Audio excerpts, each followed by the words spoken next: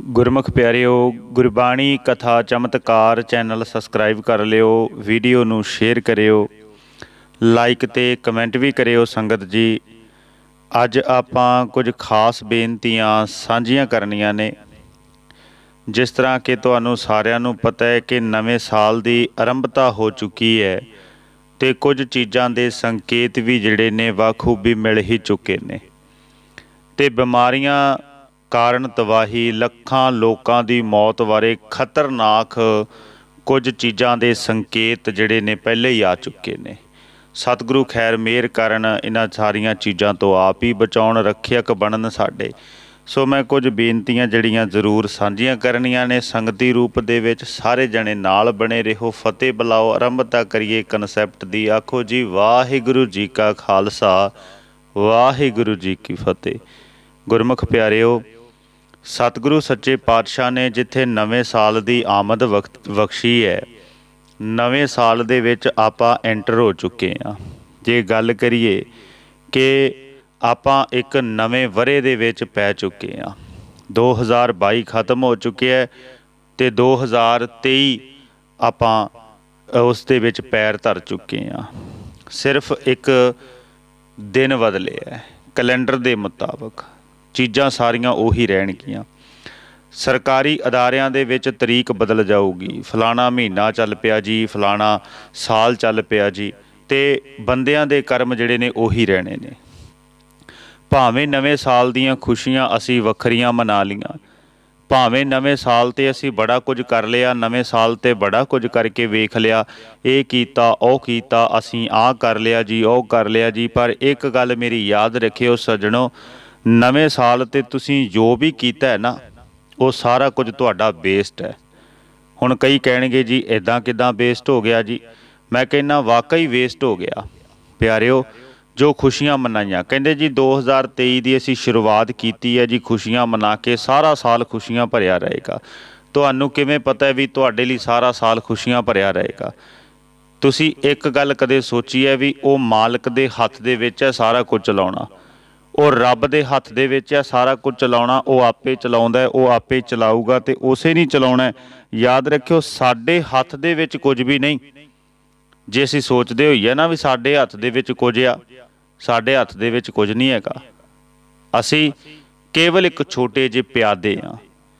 ਕੇਵਲ ਇੱਕ ਛੋਟਾ ਹੀ ਜੀ ਸਾਡੀ ਜ਼ਿੰਦਗੀ ਹੈ, ਜੋ ਰੱਬ ਚਲਾ ਰਿਹਾ ਹੈ।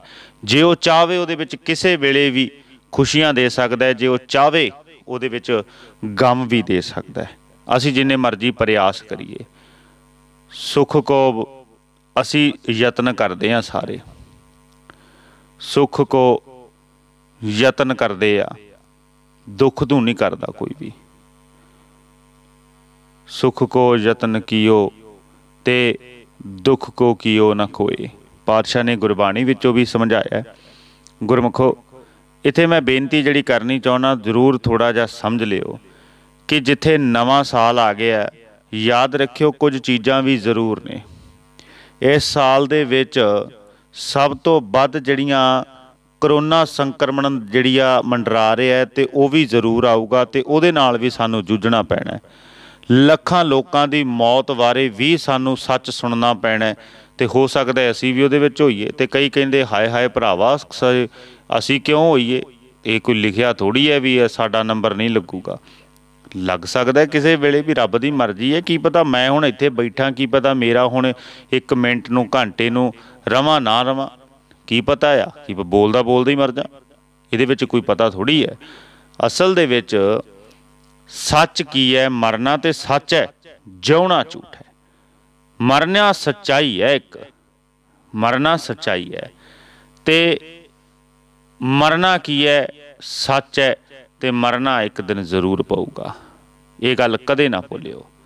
ਹੁਣ ਮੈਂ ਬੇਨਤੀ ਕਰਦਿਆਂ ਗੁਰਮਖੋ, ਮਰਨਾ ਜੇ ਸੱਚਾਈ ਹੈ ਨਾ, ਤੇ ਯਾਦ ਰੱਖਿਓ, ਸਾਨੂੰ ਇਹ ਮਰਨਾ ਕਬੂਲ ਕਰ ਲੈਣਾ ਚਾਹੀਦਾ ਹੈ, ਗੁਰੂ ਨੂੰ ਕਹਿਣਾ ਚਾਹੀਦਾ ਹੈ ਕਿ ਸੱਚੇ ਪਾਤਸ਼ਾਹ, ਯਾਦ ਰੱਖਿਓ ਕਿ ਸਾਡਾ ਮਰਨਾ ਤੇ ਤੈਅ ਹੈ, ਸਤਿਗੁਰੂ ਪਰ ਮਰਨਾ ਸਫਲ ਕਰ ਦਿਓ। ਬਸ ਇੰਨੀ ਕੋ ਮੇਰੀ ਬੇਨਤੀ ਹੈ, ਸੱਚੇ ਸਤਿਗੁਰੂ, ਇੰਨੀ ਕੋ ਕਿਰਪਾ ਕਰ ਦਿਓ। ਇੰਨੀ ਕੁ ਮਿਹਰ ਕਰ ਦਿਓ। ਬਸ ਇੰਨਾ ਕੁ ਮਿਹਰ ਭਰਿਆ ਹੱਥ ਰੱਖ ਕੇ ਮੇਰੇ ਤੇ ਕਿਰਪਾ ਕਰਕੇ ਮੈਨੂੰ ਰੱਖ ਲਿਓ। ਇਹ ਇਹ ਇਹ ਮੰਗ ਮੰਗਿਓ ਗੁਰੂ ਤੋਂ।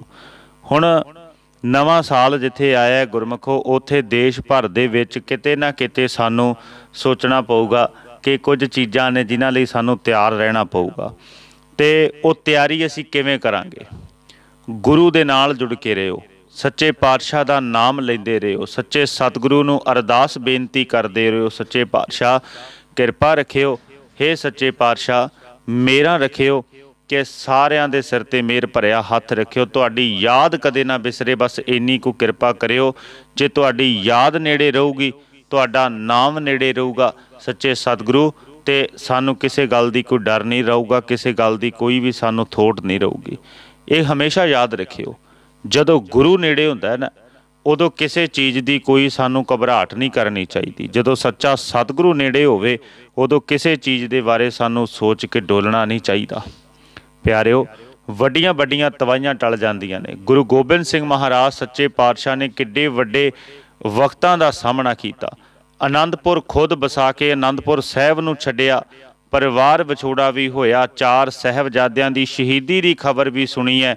ਮਾਤਾ ਗੁਜਰ ਕੌਰ, ਉਹਨਾਂ ਦੀ ਮਾਤਾ ਦੀ ਜਿਹੜੀ ਹੈ ਸ਼ਹੀਦੀ ਦੀ ਖਬਰ ਵੀ ਸੁਣੀ ਹੈ ਤੇ ਆਪਣੇ ਪਰਿਵਾਰ ਦਾ ਵੀ ਕੋਈ ਪਤਾ ਨਹੀਂ ਹੈ ਪਿਆਰਿਓ, ਵੇਖੋ ਕਿਹੋ ਜਿਹਾ ਸਮਾਂ ਹੋਏਗਾ।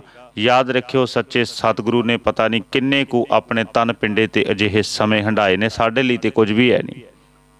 ਇਹ ਗੱਲਾਂ ਯਾਦ ਰੱਖਿਓ। ਨਵਾਂ ਸਾਲ ਜਿੱਥੇ ਆਇਆ ਤੇ ਉੱਥੇ ਕੁਝ ਚੀਜ਼ਾਂ ਨੂੰ ਨਾਲ ਵੀ ਲੈ ਕੇ ਆਇਆ, ਭਾਵੇਂ ਤੁਸੀਂ ਇਸ ਚੀਜ਼ ਨੂੰ ਜ਼ਰੂਰ ਸਾਹਮਣੇ ਰੱਖ ਲਿਓ।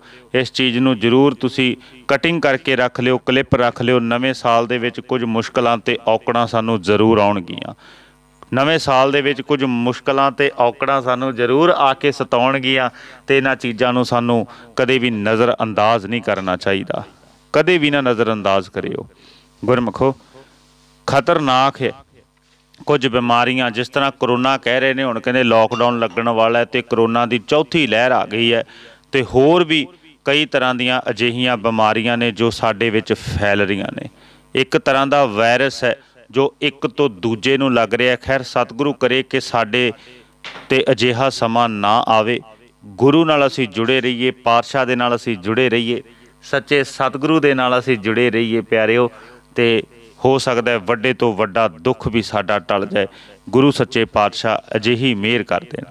ਤਪਤ ਮਾਹੇ ਠਾਂਡ ਵਰਤਾਈ ਅਨੰਦ ਭਇਆ ਦੁਖ ਨਾਠੇ ਭਾਈ।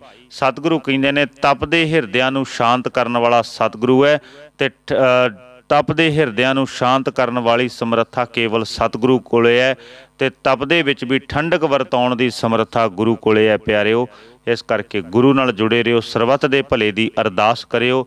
ਸਰਬੱਤ ਦੇ ਭਲੇ ਦੀ ਅਰਦਾਸ ਕਰਨ ਦੇ ਨਾਲ ਨਾਲ ਅਸੀਂ ਗੁਰੂ ਨੂੰ ਬੇਨਤੀ ਕਰਨੀ ਹੈ ਕਿ ਸੱਚੇ ਸਤਿਗੁਰੂ ਨਿਮਖ ਏਕ ਹਰ ਨਾਮ ਦੇ ਮੇਰਾ ਮਨ ਤਨ ਸ਼ੀਤਲ ਹੋਏ, ਇਹ ਸਤਿਗੁਰੂ ਤੋਂ ਜ਼ਰੂਰ ਮੰਗ ਮੰਗਣੀ ਹੈ। ਸੋ ਸਾਰੀ ਸੰਗਤ ਦਾ ਬਹੁਤ ਬਹੁਤ ਧੰਨਵਾਦ ਹੈ ਜੀ, ਬਹੁਤ ਬਹੁਤ ਸ਼ੁਕਰੀਆ। ਵਾਹਿਗੁਰੂ ਜੀ ਕਾ ਖਾਲਸਾ, ਵਾਹਿਗੁਰੂ ਜੀ ਕੀ ਫਤਿਹ।